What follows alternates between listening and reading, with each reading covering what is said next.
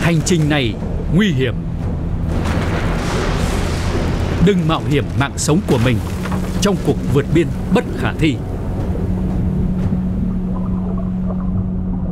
Không cơ hội dành cho những người nhập cư bất hợp pháp.